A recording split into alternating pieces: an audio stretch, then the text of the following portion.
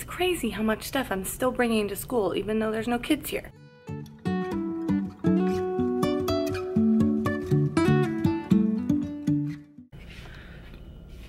Why? I'll tell you why. Science! hey guys, good morning. Welcome back to the vlog. So today is just gonna be a regular day in the life of a virtual teacher. fourth grade science, fourth grade science, and social studies. So I'm gonna do a quick outfit of the day for you guys. Um, yes, I am still getting dressed and coming to work as if it were normal. Um, no, I do not have to work from a classroom. Yes, I prefer to do so. Why? Because I work a lot better from school than I do from home, and I feel like it motivates the kids to continue pushing and pushing, staying positive so that they can one day be here with me Anyway, we're gonna start with an outfit of the day. So, we're gonna start with my shoes. These are Soda brand. I got them on Amazon. I love the pattern on them, this like spotted situation going on. I paired it with a black dress. So this dress I actually got from Old Navy. It's one of those like tank top dresses with the buttons. Well, I always throw a shirt over dresses, and this one's just one of those cute friends ones. This one's from Amazon. It says teacher, I'll be there for you. Super cute, super simple. And I just tie it up in the back and then sometimes I'll let the tail hang out. Like today I don't really care because there's no one in here. But normally I would just tuck it in and then it's hidden back there. And then earrings, I got these from Target. You guys see them? earrings I got from Target forever ago. And then glasses are by Glasses USA and they will be linked down in the description below. Okay, so what's going on today? Why do I have so much stuff? Well, this week I am beginning to teach the scientific method. Technically, it's not a fourth grade standard, but scientific inquiry is, and so is engineering, and I believe that everything needs to begin with the scientific method no matter what. So, I'm gonna teach the scientific method this week, and the way I'm going to teach that is by doing three marshmallow experiments. The very first one is going to be Chubby Bunny. So my students are going to be given a question how many marshmallows can Mrs. Valdez fit in her mouth while still being able to say the words chubby bunny, then they're going to make a they're going to make a hypothesis. So I brought little marshmallows for that challenge. By the way, guys, I'm not gonna be able to fit very many of these in my mouth. I'm just telling you right now. I have a small mouth. Yeah, no, it ain't gonna happen. But anyway, I brought small marshmallows for that. The second experiment is what will happen to a marshmallow if it is put in the microwave. Some of the kids may or may not have done this experiment before, but we're gonna still do it. Um, and if the kids have, you know, experience with it, then their hypothesis will be right. So I got jumbo marshmallows for that one. These are huge. And then another one we're gonna do is the four liquids. So the kids are going to ask a question about which liquid do they think will dissolve a marshmallow the fastest. And so I have four liquids here. I have water, I have vinegar, I have soda. So I'm actually gonna do two experiments with this one. Well, not two experiments, but two cups. So I'll do one with 7-Up and one with Coke. And we'll see if, if one of the sodas is like more acidic than the other. And then we're gonna do some cranberry juice. So the third experiment will be which liquid will dissolve the marshmallow. So we're gonna do that one on Friday and then we'll leave the marshmallows in the liquids over the weekend and then Monday morning when we come in, when I come in, I will film the results. So that is what I'm teaching this week. Tomorrow I introduce the kids to the first See Think Wonder, which is a picture of a boy eating marshmallows. So I wanted to spark the topic for the week by doing that. And then Wednesday is their very first video, like full on teaching lesson. And that is the one where I do the chubby bunny. So I have the See Think Wonder video filmed. I need to film my three scientific method videos and experiments. So I'm gonna be doing that this morning. Um, I really wanna answer a ton of your guys' questions. So here's what I've been doing the last two days that I've been here at work. Um, I've been sitting down at lunchtime between 12.15 and 1.15 and I've been doing like a teacher's lounge moment where I just go live on Instagram and I answer like questions that you guys have.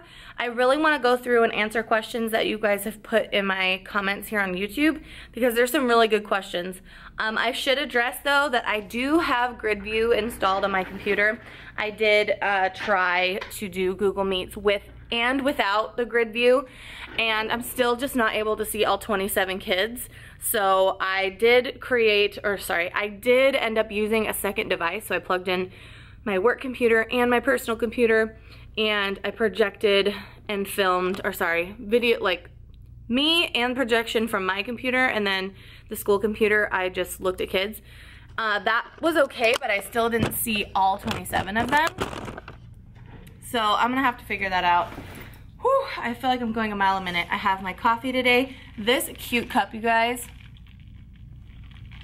I'll link it down below. It's by um, the Confetti, I forget it. I forget right now off the top of my head, but Confetti something. Um, I also have my lunch today is sushi. I love sushi.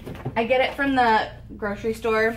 I'm not trying to spend a bunch of money. It's like five bucks, um, but I like it because it's not super obnoxiously filling. Um, this is just the Threes Company. It's like a Philly roll. And there's only about 440 calories in this whole lunch. That's not too bad. Got my chopsticks. And then I'm also gonna snack on some plantain chips today. So like I said, I'm trying to go live every day at school during lunch and I call it the Teacher's Lounge, the Digital Teacher's Lounge, because a lot of my friends on Instagram will join me. I also thought about making it a Zoom meeting so that I can see your face. My door wipers are here. you can hear them. Oh, I also have some trail mix. And I need to eat my breakfast, which is just eggs and some cream cheese. okay, so my camera's at 14%, so if it dies, I'll switch to my phone. But I thought I would show you guys what I do to get ready for a Google Meet. So a few questions I had in my comments were, what are your times for your Google Meets and what do you do during your Google Meets?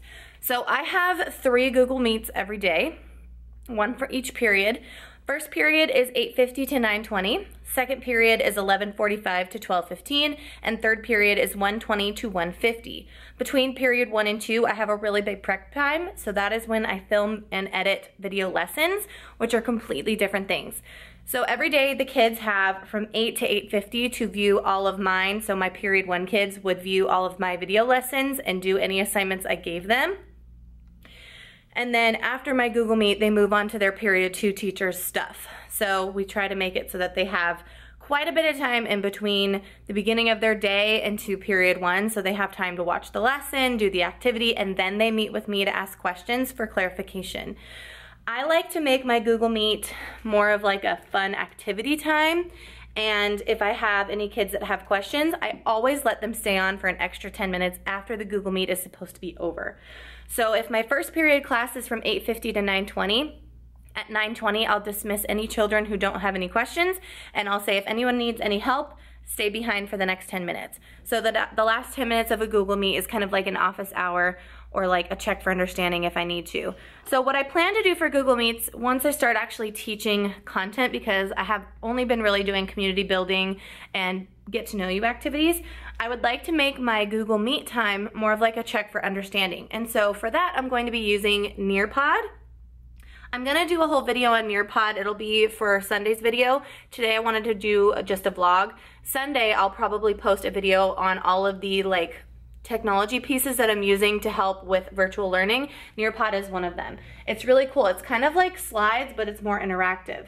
So what I'm doing now is I'm just getting set up here for my Google Meet. So as I mentioned before, my computer from the school, I use to see the kids. So I, um, I don't have a camera turned on. I don't have a mic turned on. I just log in so that I can have a screen to see kids on. And then on my personal computer, my MacBook, I have for presenting or filming myself. So right now I'm actually working on editing a video lesson. What I use to film my video lessons is the webcam on my iMac, or not my iMac, my MacBook. And then I also use my iPhone and I use this really cool tripod. Sorry, I'm like bouncing all over the place. I use this really cool tripod. It's from Amutech Um, but it's really cool because it extends and it has little feet and it holds my camera and I can face it down. So I use this for some of this stuff. Depending on if I want kids to write in their notebooks, this is kind of how I film like if I'm writing anything um, or if I'm gonna do an experiment and I wanna look down and show them, I use that. And then I just edit the lesson in iMovie. I know a lot of people don't have this technology, um, but luckily my YouTube hobby kind of set me up for success for that. Um, so I would say if you don't have this kind of technology, I would definitely try to invest in some kind of, I mean, you don't have to, but if you want to, some video editing software of some kind, maybe a webcam, like I have this one that I could use. I just take it off and then I could point it down if I wanted to. I have that in case I want to do a demonstration live on Google Meet. Um, but if you don't have some sort of like editing software, you could definitely just film a video using your computer's camera or even your iPhone and then post that. Um, a lot of iPhones have iMovie, which is a great editing software that you could totally use on your phone. Um, and so that is an option. So as of right now, the things that I am pulling up are, I always have my weekly agenda up on the screen so that I can look through and see what I'm doing in my Google Meet. My daily agenda always has what we're doing in the Google Meet and then what the kids need to do on their own. So I'm looking that up right now. I like to have it up on the screen so that the kids can see. I always put it up so we can talk through what we're gonna do. That way they kind of already know what's coming. And then I'm gonna pull up my Nearpod that I have for the kids today, which is going to be a class rules activity. So I'm actually using um, Josie by Maniac in the Middle's classroom rules music activity, but I created a Nearpod out of it to get the kids to be able to type ideas. So I have that pulled up, ready to go. I also like to pull up Spotify and for the first five minutes of the Google Meet, which I always join five minutes early, so I have four minutes until I gotta join, I put on music and I take attendance using Class Dojo. So this is kind of like our little system that we created in our fourth grade team we take attendance via Class Dojo, and all we do is we pull up the list of kids, and if the kid is in the meet, we click on them and give them a point. So every class period, they get a point for attendance. By the end of the day, if they have three points, they have been there all day. If they have two points, it means that they missed somebody's class. If they have one point, it means that they only showed up in their homeroom. So we want to make sure that the kids are not ditching the other meets. Um, we only take we're only supposed to take attendance for our homerooms, but we felt that it would make more sense to take attendance for every Google Meet to make sure that kids aren't like ditching Google Meets. You know what I mean? So um, the song that I like to play for the first five minutes while I'm taking attendance is the Star Wars theme song. Reason why I love that: A, Star Wars. B, Star Wars. And C, it's a five minute song, which means five minutes. Once the song is over, I start my Google Meet. It's the perfect time. So I pull up Spotify and get that queued up. And then I'm also going to pull up the video of the song. So I actually filmed, um, I screen recorded the songs the for the rules and then I edited them so that I could only share with the kids the part of the song I wanted them to hear, not the whole song, because parts of like Ice Ice Baby, if you guys know this lesson by Josie Bensko on Maniacs in the Middle, then you know. If you don't, you need to go check it out. Um, but I, I've cut out the parts of the song I don't want the kids to hear, not because they're inappropriate. Some of them are a little bit, you know, questionable, um, but the part of the song I want them to hear is not inappropriate. So I have that edited. I'm gonna share that video with them throughout the activity. So I'm also gonna pull up Google Meet. Obviously I need that to be out. And then, yeah, I'm gonna get started. So, um, another thing I do is I use a morning song or like a welcome song in my Google Meet. That's like the first minute is I take attendance, I do the morning song, and then we start. So I'm gonna get that queued up and then I'm gonna start with my first meeting of the day. Hey guys, so I am getting ready to start my second Google Meet of the day and I am this close to being done filming all of my videos for this week. I wanted to be done today so that tomorrow I could start planning for the third week of school, which if we end up coming back in person, well, this will be, I think there's four total online weeks so only have two more to do after this. So So I think next week we're gonna start mapping skills and then after that we'll do another science topic. But I just filmed my little miniature lab here, my experiment. Um, and so this is the marshmallow dissolve one. I'm thinking I might push them down into the mixture with a popsicle stick just to like submerge them. I don't know. I don't want to like mess with it, but I did film this for my last class or for my last video. This is for Friday's video. Um, I'm gonna check these on the 30th and then I'll post so the 30th, I'll film Monday's video because Monday I want to be able to share the results with the kids. So even if we are doing a social studies topic, I'll first begin by showing them what happened. Either that or maybe I'll do it in the meet. I'm not sure yet.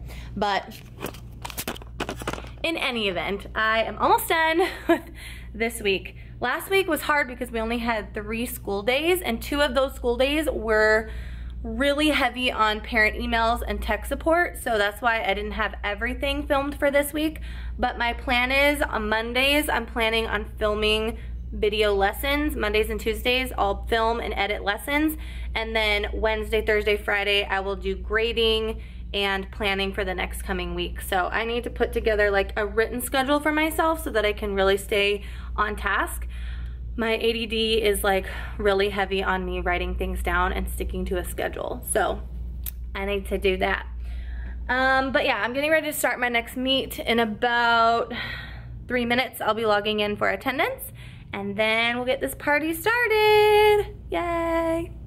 Hey guys, so I wanted to jump in real quick and update you guys. My friend Darin over at Darin Nakakihara's channel has found a way to take attendance every day on Google Classroom. I'm gonna put a link down below in the description box that takes you to Darin's attendance magic stuff. It, apparently, you share it with your students on the day of, and it takes attendance automatically for you, so you don't have to take attendance every day. Super cool. Um, getting ready for my third Google Meet. It is starting in about 15 minutes, so at 1.15, I will be turning it on and starting to take attendance there. I'm gonna get going so I can prep for this meeting and I've got like a bajillion text messages coming in, but I'll see you guys in just a second. Mm, I totally lied. I did not film anything else that day. So Scott and I are here. um, super cool and really big news. We decided to create a family, family channel. channel. so we've been editing like crazy people for the last like three hours, but we wanted to share that with you. Slap it on to the end of this vlog since I'm so behind on my own channel. But um, I am going to go ahead and end the vlog here. So thank you guys so, so much for watching. Don't forget to subscribe to the channel and of course follow me on Instagram because I post there all the time and join me for lunch at 12:20 every day. Um, I've even got a couple of my teacher friends from my school who are planning to come in and join me for lunch. Super exciting. Um, so you guys will be able to ask questions and do all this fun stuff. But as always, thank you guys for being here. We really appreciate it. I really appreciate it. It's going to be hard for me to like separate mine and yours, like we and I. That's okay, I'll get used to it. so anyway, sorry that this is like such crappy video. It's from my computer, but I love you guys so much and I will see you in the next video. Bye!